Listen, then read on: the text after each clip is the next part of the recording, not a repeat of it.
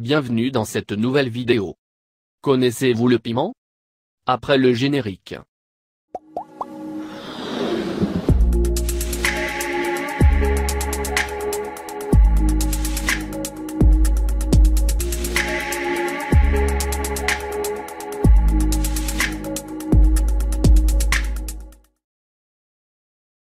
Détrompez-vous, le piment ne sert pas juste à se brûler les papilles.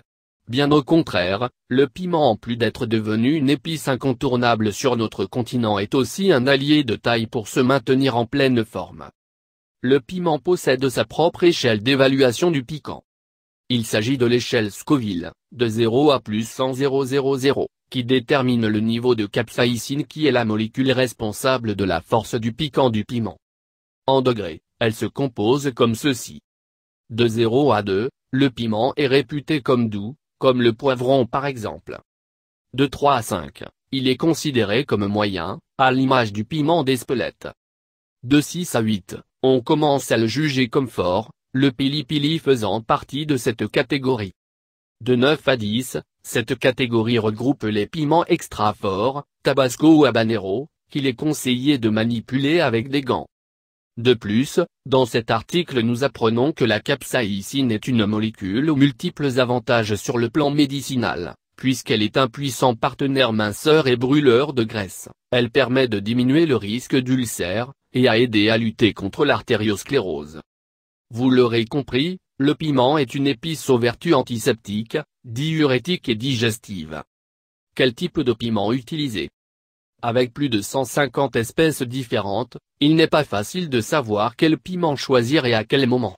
Voici un petit tour d'horizon pour vous permettre d'y voir plus clair pour vos préparations.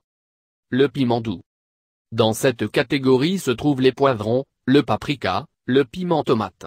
Le piment doux est peu piquant et se marie avec des plats classiques en rajoutant de la couleur et un petit goût agréable. Le piment moyen.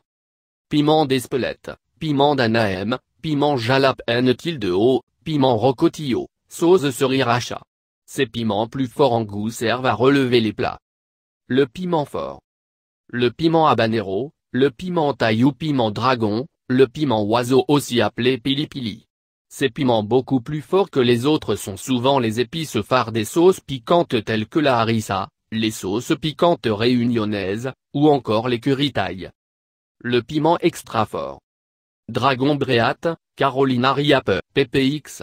Pour cette catégorie de piments particulières, il est conseillé de porter un masque et des gants afin de les cuisiner malgré tout, car ils peuvent littéralement vous brûler la peau. A bientôt pour une prochaine vidéo. Encore TV le chemin de l'information.